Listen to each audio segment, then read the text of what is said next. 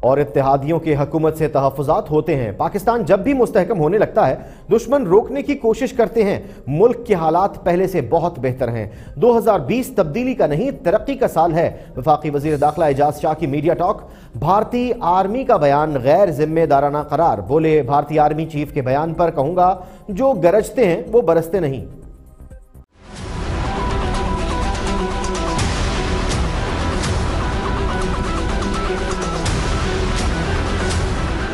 جب بھی ہم سٹیبلیٹی کی طرف جاتے ہیں، جب بھی ہم تھوڑا سا پروگرس کی طرف جاتے ہیں، تو جو anti state elements sponsored by the outside people third forces by the enemy وہ اس قسم کی جو حرکت ہے، وہ کرتے ہیں۔